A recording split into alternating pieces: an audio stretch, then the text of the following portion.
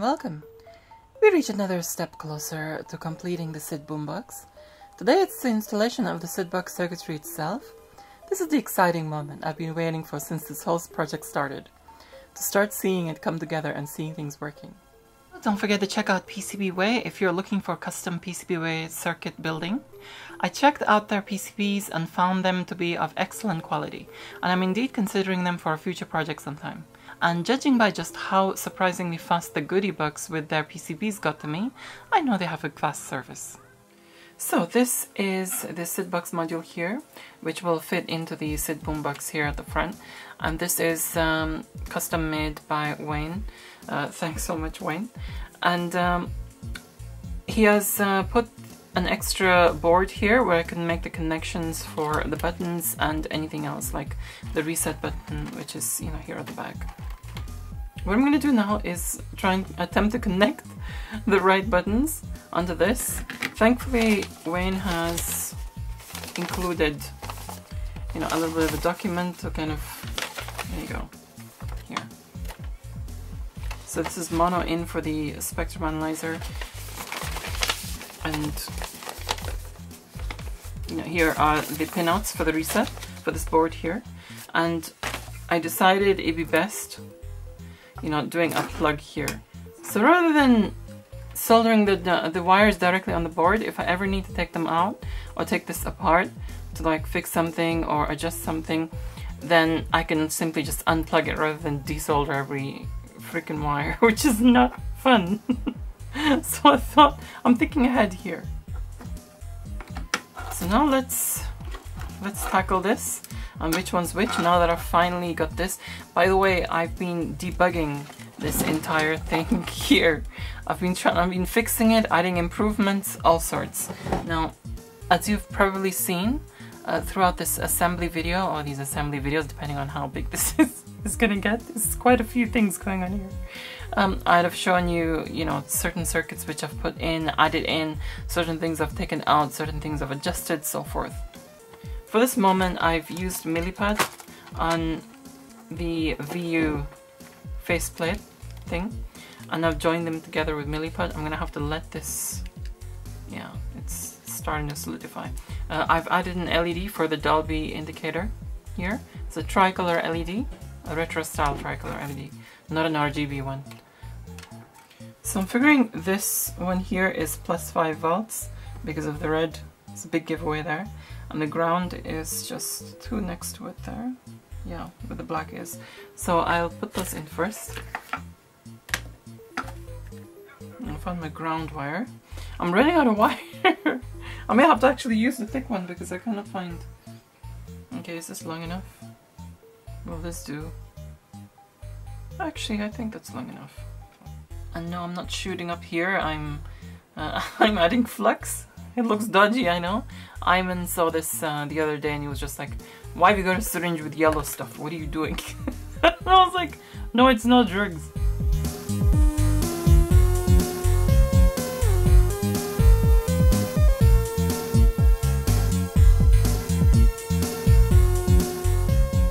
I think I'll have a sarsaparilla tablet. I used to have these a lot in childhood and this is from the um, the live stream which I did, which Wayne and I did with um, you know unboxing retro candy candy we had in childhood. If you wish to watch that stream, uh, it was a little while ago. It's in the description below. Or link in the what I hear. right, so all of these buttons, including the reset button here at the back, which is this thing here, which is this, there's a button here, reset. There you go. Now all of these uh, go to ground. So what I want to do with one leg of them is join it to ground.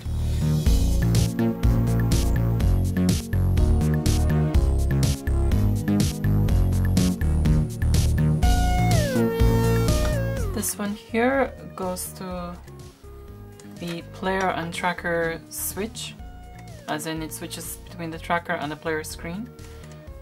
That, these are custom buttons. This shows that you can mod the SID box however way you like if you're gonna put it into a project like this. There we go. We got two left here. We got the chip select which selects between the SID uh, 6581 and 8580. And then we have this one here, which is the file browser window.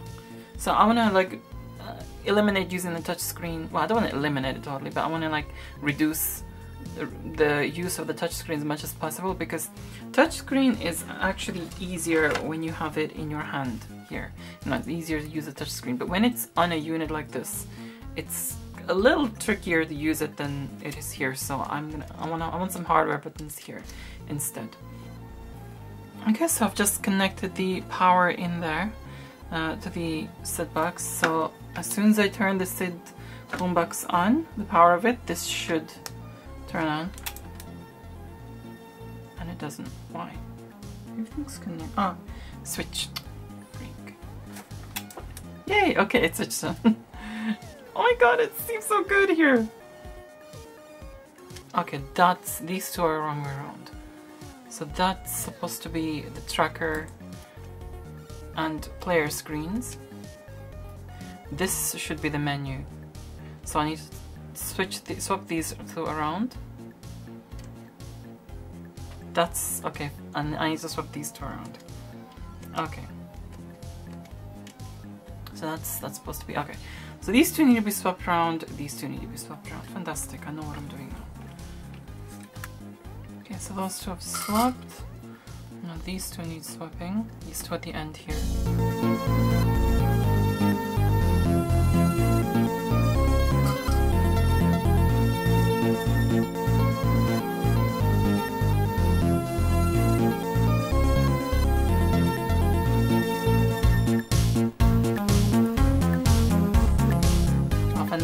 That's right now.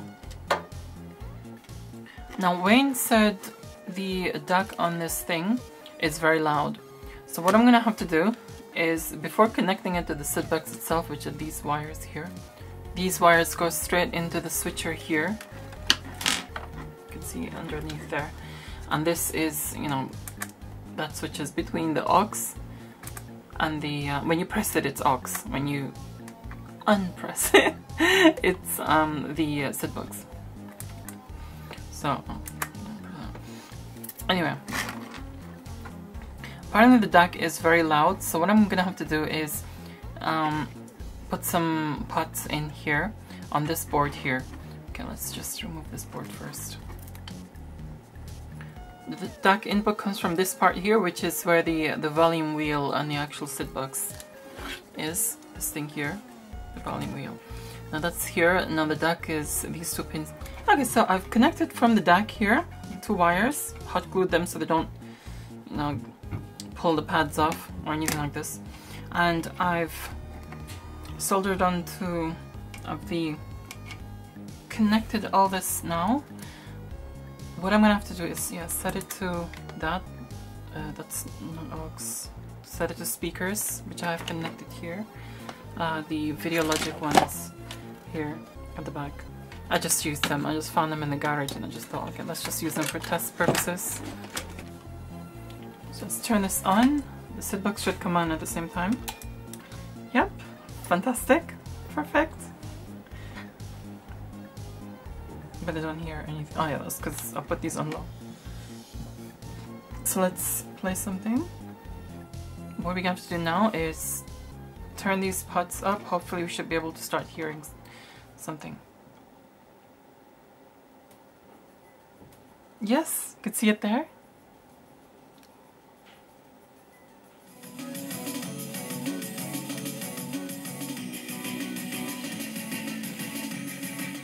Oh, that's good. You can control the, um... Oh, that's fantastic. the best tune would be to to use would be to would be a a SID in mono mode, so we can you know set the calibrate everything.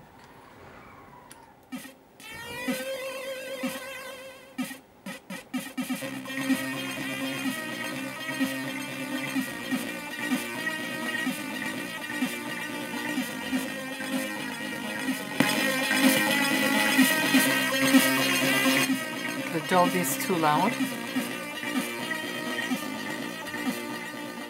to set the Dolby a bit lower.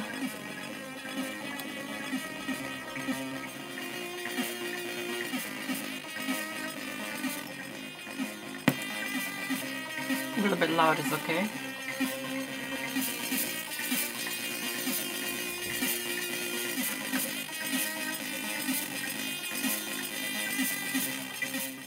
Okay, let's um, test something that I recognize, with Dolby that is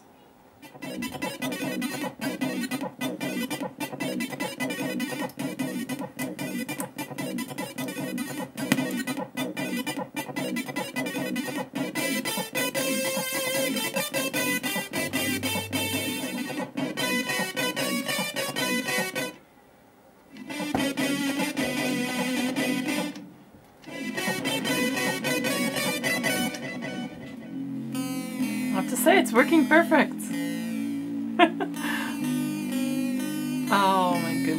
Waiting for this.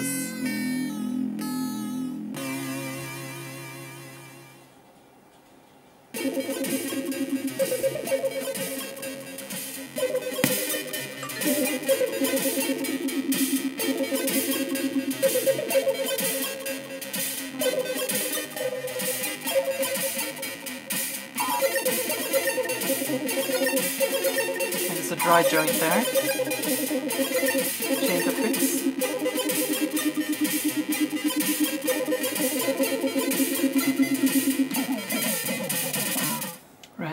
I just remembered. This these two wires here they go to the um, the cassette player, the DIN the DIN port at the back. You can connect it to a cassette deck, uh, and these you know I will need to connect these directly to the deck so it records whatever from the deck from the SID box into the cassette cassette deck.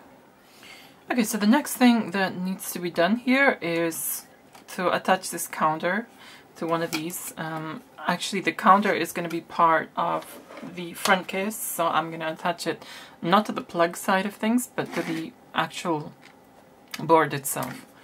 You know, might as well just attach it to that. So according to Wayne's papers, it is, that's the orange data, okay. So it's the third one in. Oh nice. There you go, counter.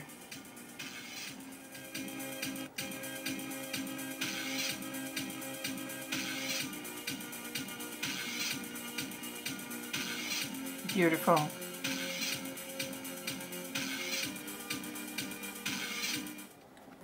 Think a good idea to put Kapton tape on this, on the back of this counter board, just to kind of prevent accidental shorts. Okay, so right now what I'm gonna do is mount everything onto here, as much as I can over here. Uh, this thing first needs to go inside here. I can just safely glue this down. Here, yes. I'll still need to paint this thing, these, the silver here, but I'll do all the cosmetic stuff afterwards. I was thinking of doing it beforehand, but no, I'll do it afterwards. And get rid of this darn thing.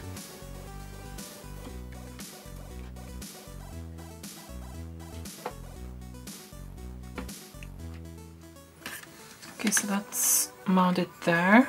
What I'm gonna do now is try and mount this this thing here, which may be a little tricky. If I've got this protruding a bit too much. Hopefully not. What I need to do is just put some hot glue into here so that it fixes the place itself. I'm not just gonna stick this with hot glue, I'm also gonna put some milliput here so, and some there to reinforce.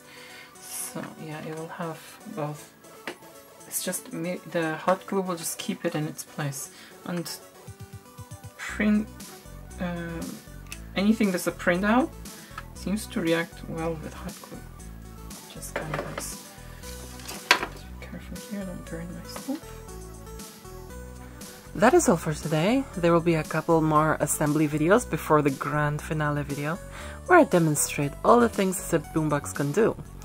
Thanks for your likes, your shares. Do leave your thoughts in the comments below.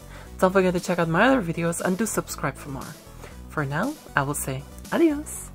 I wish to say a big thank you to all my patrons, especially my top tier patrons. Electronscape, Axel Dominator, Rich Carboot, Aaron Metcalf, Cammeltech, and Chris Sevelinsky.